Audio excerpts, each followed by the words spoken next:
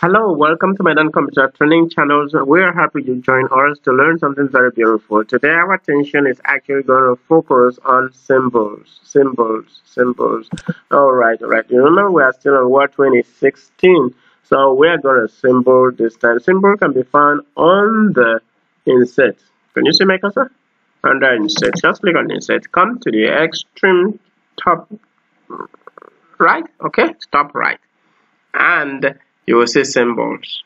Well, well, well, let's discuss a little about symbols. Symbols, you know that in your keyboard, if you may see your keyboard right now, in your keyboard, if you're using a regular computer, you may have about 100 keys on your keyboard. Some may have 104, although there are other formats and other types of keyboards as we will learn as time progresses. But none of these keyboards contain all the things we are needed in order to perform all our tasks in the use of computer. So here comes symbols so that it can complement what we have on the keyboard. So the symbols can allow you to insert many other things that may not be found directly on the keyboard. Greater, lesser than, um, equation signs, and so many and so forth. You can't even number, I can't even name them all.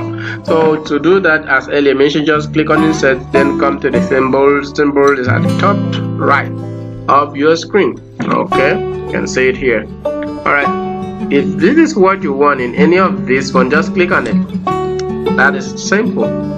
That is simple. You can continue what you were typing and so on.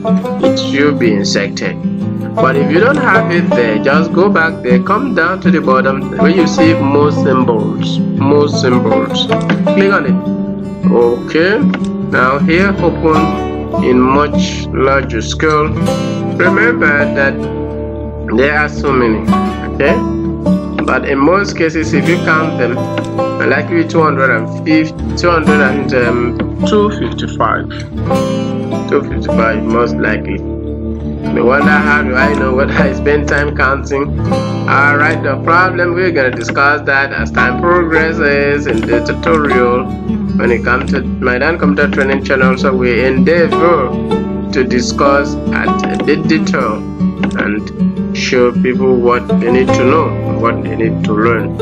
Okay all right. Now let's discuss a little further. You can come here to click and uh, take for example basic Latin. Is under basic Latin can have different thing here. Now let's click one after the other. When you click this what you have each of them are numbered. Is called character code but we will not discuss much on that because when we are going to discuss about uh, computer language that is binary we are going to show you how this works okay? But under the character code if you are using the unicode um, unicode is here nothing. Unicode hexadecimal. Now let's move from unicode.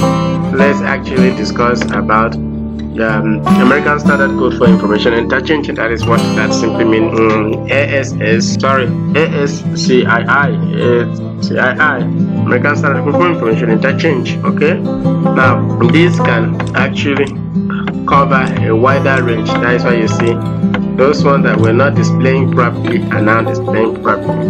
Okay, now we will not bother you with all that. All we wanted to learn today is how to insert symbol. So just choose if this is what you want, click on it and insert.